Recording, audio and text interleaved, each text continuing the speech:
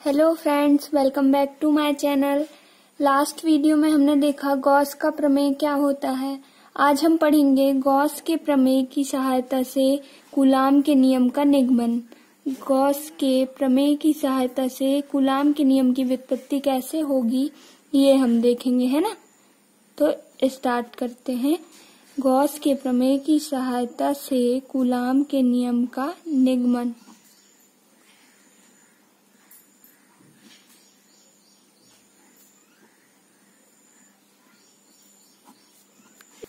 अब हम देखेंगे कि हमारे पास माना प्लस क्यू आवेश है, जो बिंदु O पर स्थित है। तो हम O से R दूरी पर एक क्या गोला खींचते हैं। इस गोले का पृष्ठ क्या होगा? गौसी पृष्ठ होगा। और इस गोले पर, है ना? इस गोले के पृष्ठ पर स्थित प्रत्येक बिंदु पर विद्युत क्षेत्र की तीव्रता का परिणाम क्या होगा? समान होगा। और इसकी दिशा क्या होगी? त्रिज्यीय दिशा में बाहर की ओर होगी। और विद्युत क्षेत्र की तीव्रता का परिमाण समान होगा, है ना?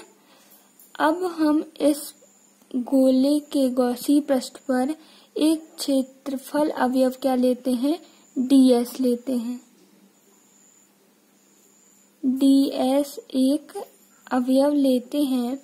इसकी दिशा भी क्या होगी? बाहर की ओर होगी, है ना? त्रिज्यी बाहर की ओर होगी।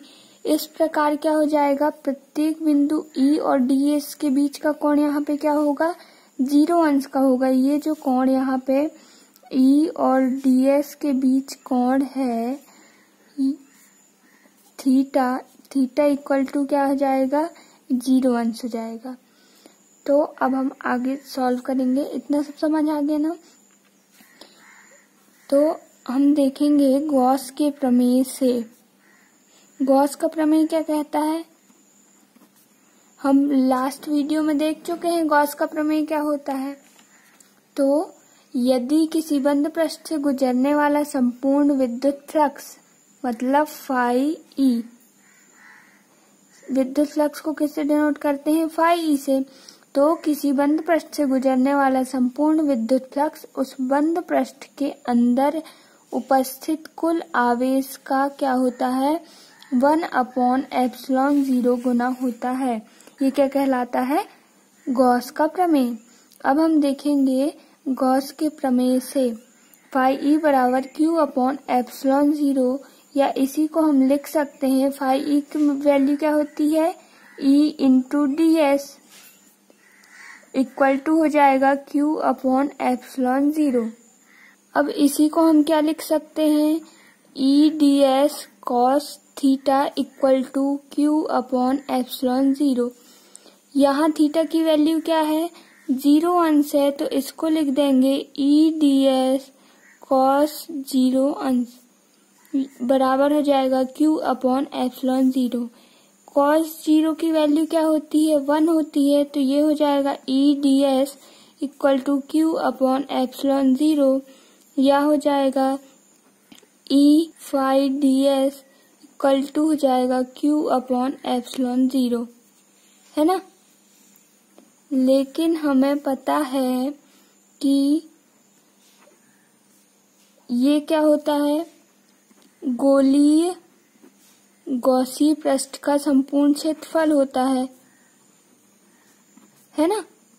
और गोली गौसी पृष्ठ के संपूर्ण क्षेत्रफल का मान क्या होता है? Four pi R square. तो हम इसकी वैल्यू समीकरण एक में रख देंगे तो हमारे पास क्या आ जाएगा? E into four pi R square equal to Q upon epsilon zero ठीक है? या इसी को हम क्या लिख सकते हैं? E equal to one upon four pi epsilon zero Q upon R square ये हो गया इक्वेशन दो। अब हमारे पास ई की वैल्यू क्या आ गई है? One upon four pi epsilon zero Q upon R square. यदि हम बिंदु पी पर, बिंदु पी पर एक अन्य आवेश क्या लेंगे? Q zero. तो आवेश क्यू ज़ीरो पर लगने वाला बल क्या हो जाएगा? F बराबर क्यू ज़ीरो ई हो जाएगा। अब F में इसमें E की वैल्यू रख देंगे तो हमारे पास क्या आ जाएगा? One upon four pi epsilon zero Q Q zero upon R square. यही क्या है? कुलाम का नियम है।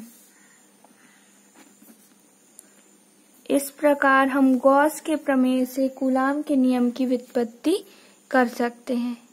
ठीक है? यही कूलाम का नियम है। और इक्वेशन दो जो है, ये विद्युत क्षेत्र की तीव्रता का व्यंजक है। ठीक है? तो हमारा ये टॉपिक यही एंड होता है। यदि वीडियो अच्छा लगे तो लाइक सब्सक्राइब कमेंट ज़रूर करें। इसी के साथ हमारा फ़र्स्ट चैप्टर एंड होता है। ठीक है? धन्यवाद।